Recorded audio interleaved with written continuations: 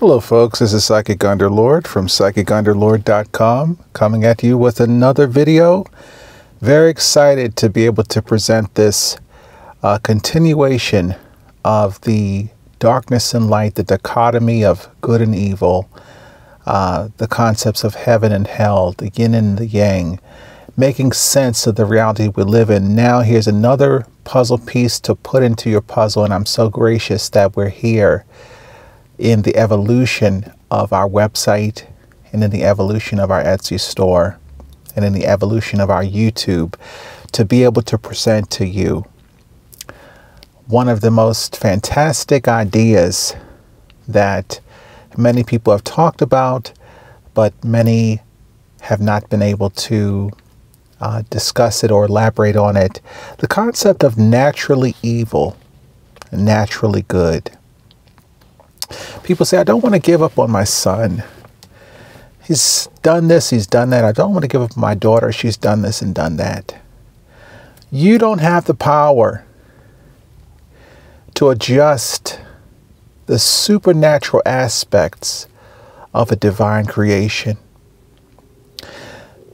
The concept of someone being divine, someone being not divine, that's all uh, hearsay um, for you to assume that a living, breathing, upright, walking, talking, eating, dancing, breakdancing, and uh, ordering Netflix, something out here on the earth, is any less than divine. Because I don't see anything else in creation doing it except for us. So just just let that sick, let that soak in, and uh, really think about it. Are there any other creatures on this planet that actually order Netflix, or can order and place orders through Amazon or any of the other millions and millions of websites through the internet, and to go into this little thing on their phone and be able to kind of adjust the settings so that we can get the Wi-Fi and the Bluetooth hooked up to all these other inanimate, inorganic things that we've created, all this architecture, all this technology. This is an act of the divine. Incarnate angels versus incarnate demons. Living in a world where we look at pictures that were painted long ago and say, well, that was the old way that it was. Those things are long gone. Those are things, the dragons that they show are uh, were once dinosaurs, but that's just an assumption that these things are rare now and that humanity has somehow technologically accomplished in nearly extincting, uh, I don't even know if that's a word, killing off the North American buffalo just so that the Native American Indians won't have food to eat and then we can drive them across the whole freaking country. That doesn't sound like something that bumblebees do. Doesn't sound like something that fire ants or any other predator, not even the lion, not even the bear. I could imagine pushing an entire uh, element of their own species to a different side of a whole continent just so that you can possess unbridled potential in a land that had nothing, no, nothing supernatural, but there was the supernatural idea that I wanted and I take it. Could that be a supernatural demonic? The, the creator designed his own adversary. Let that soak into your skin. Which created a perfect system of righteousness. How could that be? How could it be that because I create my own enemy, that now the perfection of righteousness is perfected? That just goes all way over people's heads. They want someone to blame for problems. They want someone to blame, but they don't want it to be the creator. They don't want to believe that he would possibly harm a little hair on their head because I'm double minded. So I have to have worship and I have to have perspective in two different facets. I can't just live and live with something that the way it is. I, I can't just, I have to have straight and I have to have gay. I have to have woman. I have to have man. I have to have black. I have to have white. I have to have uh, cheap car versus expensive car. I have to have luxury versus domestic, uh, conventional. I will have that synthetic versus regular motor oil for my car. I have to have all this concept of the back and forth to be able to make sense of what is and what isn't. But what if what is is actually is and is and is? And within the is is something called right and wrong. Now, making imperfect things into perfect is what the Creator does. He uses evil in order to make good in the world. This is why the frustration many people will discover coming unto ritual is divining ritual and and under the ascension especially which is this is the only store that actually offers this i just i don't know if that came on the camera but something was in the sky and literally just faded into the clouds and it was i don't know how that's possible but if something was imperfect, how do you refine it other than, I mean, you can't do it, but can the Creator do it? He uses both sides.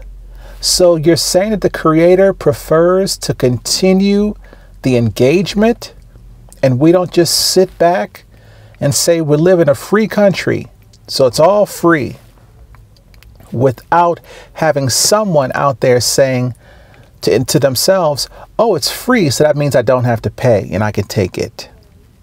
So there, uh, in one word, in one phrase, infinite different ways of interpreting, and then the interpreting triggers something inside of the the upright walking talking organism to be able to go out and put a gun to someone's head and say the house is mine you know even siblings you know, to, to fight over 1,500 square feet when there's this so much space and so many places to go, it's because I don't feel like it.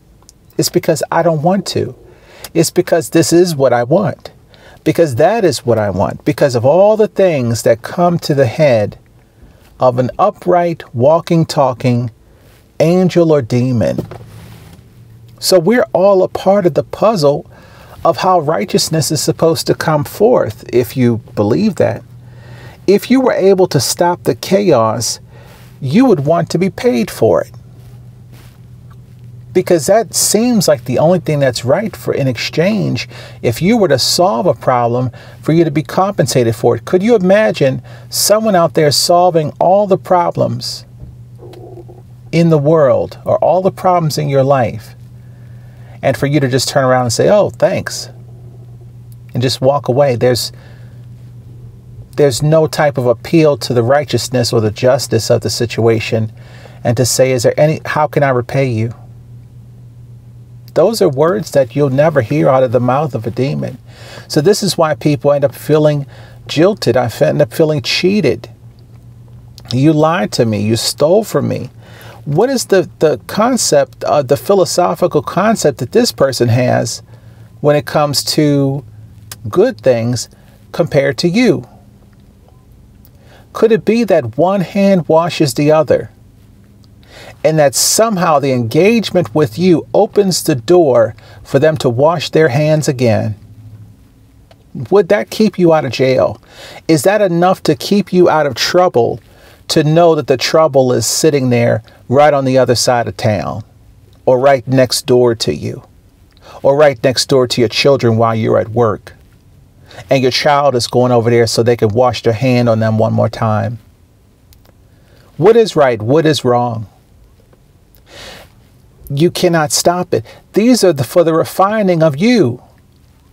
If you focus and concentrate on the, the reality that you are the piece that is being refined, maybe you can get closer to what is actually supposed to be happening here. So you are the Creator's biggest concern which is why he gave you so many problems to deal with. You cannot get an authority without going through a blockage. So when the blockages come to you, you notice that they've reduced. I know that you have. Over the last few time, months or, or even coming on to years of you wearing ritual, you've noticed that there are things in your life that are no longer problems to you. They exist as problems for other people, but for you, no, they're not ex existing as problems. So there's a, been a blockages cleared, authorities gained. Those authorities are like lock boxes. No one can put their hand in it and take anything out of it because it's been secured. It's been secured by the ascension. So you're rising up in this thing where things, you're still in this engagement uh, concept, but the things can't get you like they used to. They can't take advantage of you just like they used to. You can reduce blockages down to the end, but you'll still remain who you are. If you're on the side of this side or that side. I don't know who's in the store. I don't know who's in the shop. So I'm not going to discount what's before me. I'm just going to include everything so that we can all recognize that we may not be one or the other. We may be a mixture. And then when we come under authority, we may be under an authority and then have to go into the mixture as well. The way that he uses people, there's no limit to what he can do for you. There's no limit to what he can do against you. Recognizing the place where you sit is not a place to rest on your laurels. It's a place for you to know what's the next step to gain the, the next point of uh, idea to be able to make progress in the right way. How can you get that? The evil are blessed because they can only achieve unto a certain point. So even in their evil, you see them, oh, they're driving a nicer car than me. They're living in a nicer house than me. But it's only to a certain point before they go into the hospital for a freaking nervous breakdown. Let's talk about the blessings of the things that you avoid every day by being on this side of the ascension. They can only go to a certain point. And you know, with the protection rituals, they can't touch you. The, the conquest is in your mind.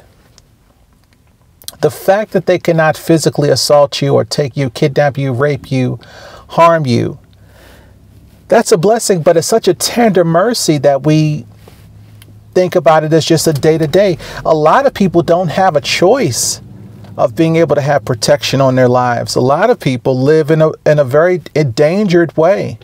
They walk around the, the world with knives in their pockets and guns in their pockets. They've made people upset. They've made people mad. How hard is it to make somebody mad in 2024? It's pretty easy.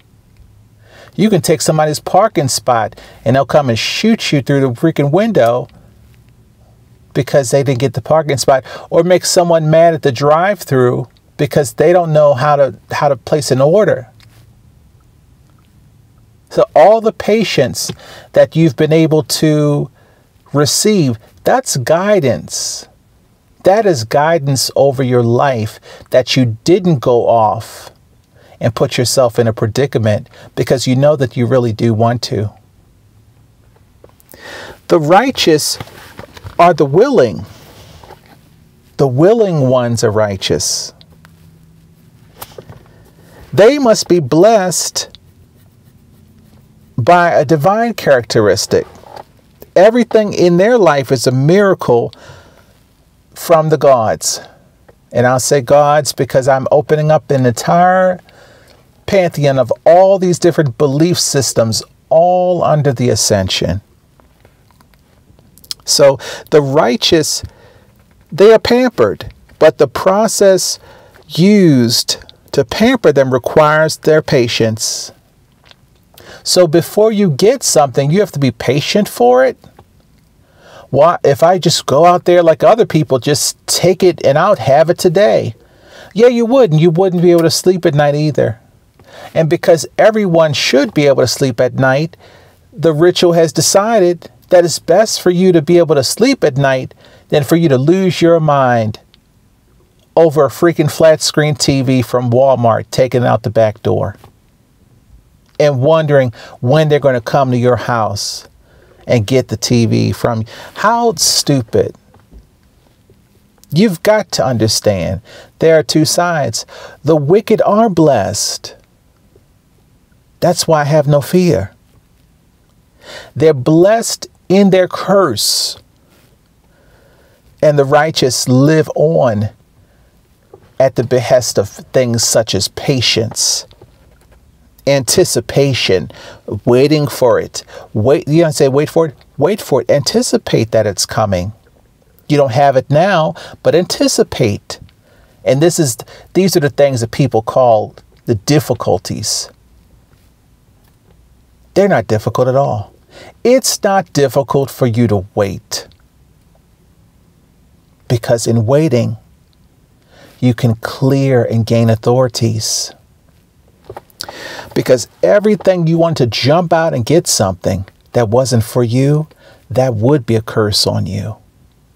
And since you can't be cursed because of what you've done with this store, you must you must cooperate. Even cooperate. You're saying I work in a and my supervisor is, is the witch wicked witch from the west. I'm cooperating with them. I'm cooperating so that I'm able to receive authorities. So you just sit there and just go through all these different emotional changes, not physical. They haven't fired you. They haven't reduced your pay. They haven't changed your hours. They haven't changed your job and made it so that you uh, can not function.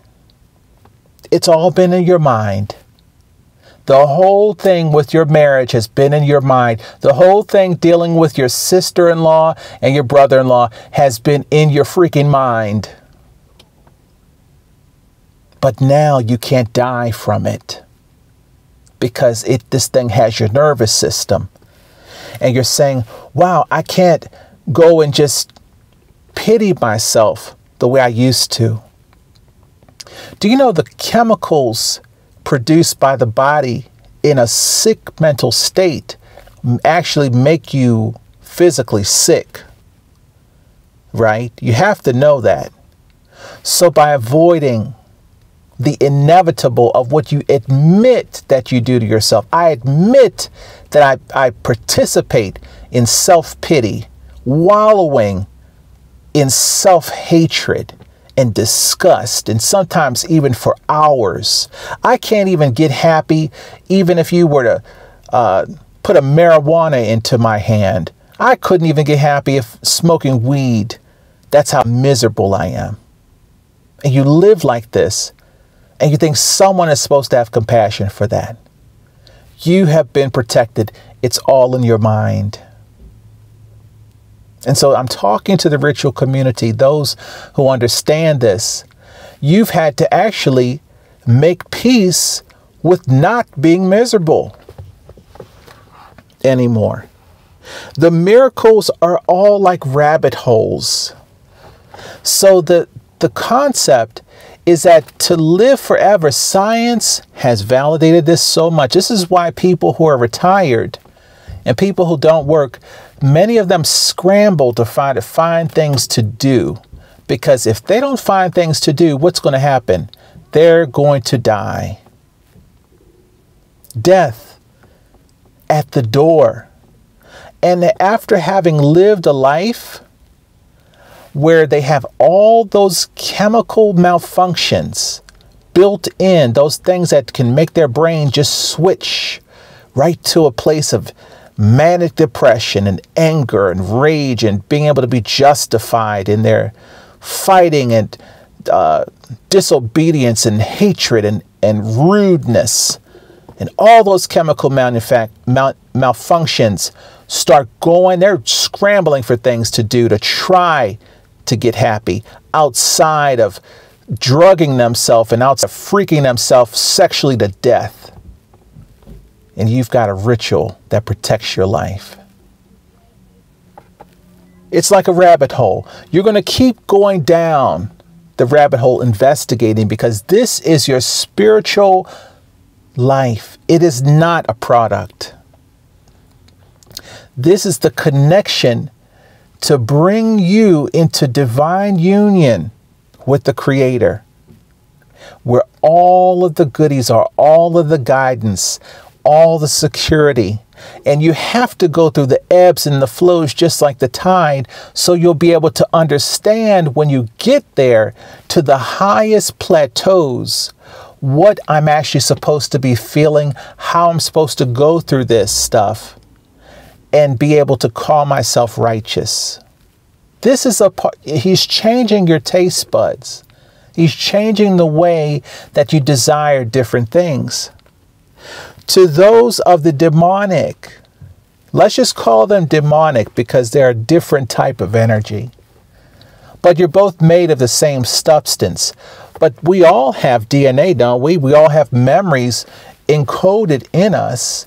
We all have these muscle memories of all the things we've gone through, and your parents pass everything that they've been on, been into, uh, and experienced their entire life into you at the moment of conception.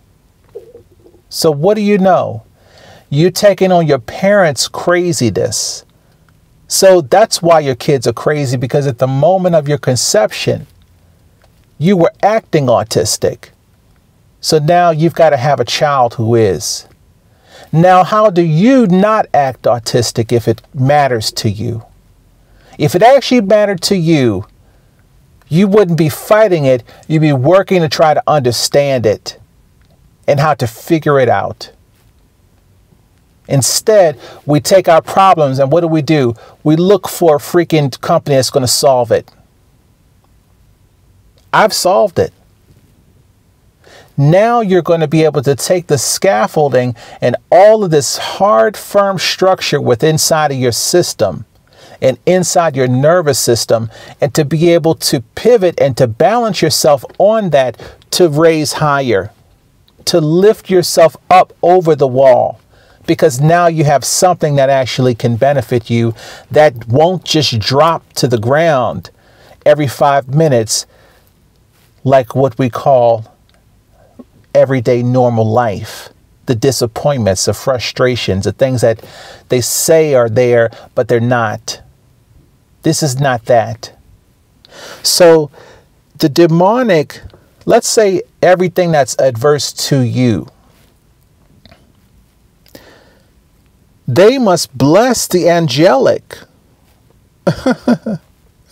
Those people, in order for them to prosper, they have to find you and give you the money to prosper.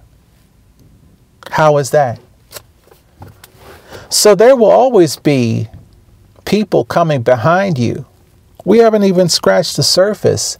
So the resources over time are going to grow exponentially because the resources are being planted in people all over the world. And as they grow, this is a divine garden of miracles.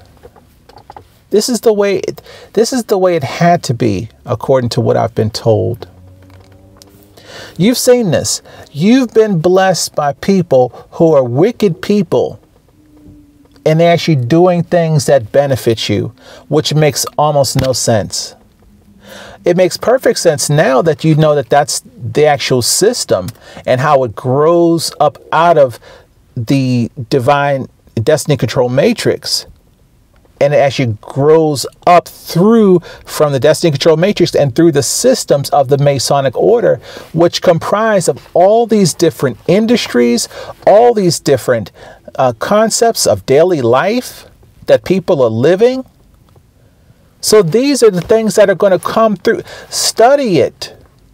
So these are these are the places where I can be blessed technically because these are these are the first places of distribution where the blessing comes through is the Masonic order. because this ascended ritual takes divine authority from the bottom to the top. There's no intermediaries in this. This is coming directly from me. So, and you know who I am. My rituals work both ways for both sides. That's why I want you to be satisfied. I know that you're probably a mixture of both. So it works both ways. And you, as the ritual buyer, you are the ultimate priority.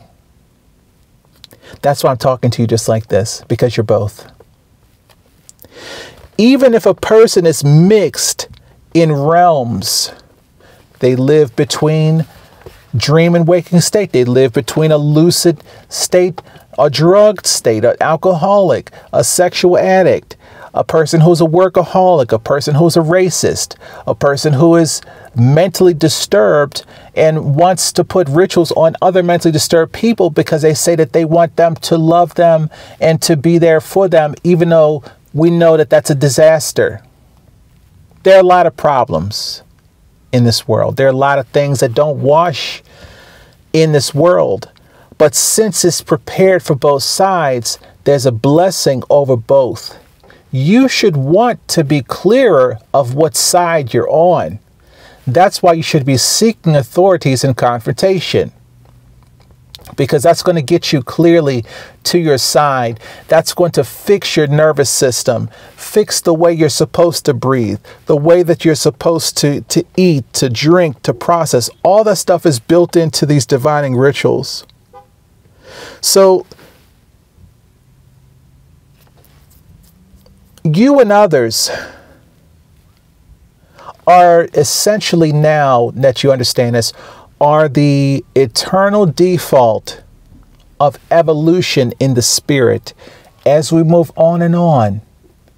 The people coming behind us will embody these same exact vestiges of reality. They will move forward, you will move forward, you will move up, they will move up, and the support multiplies. The provision multiplies. Thank you very much.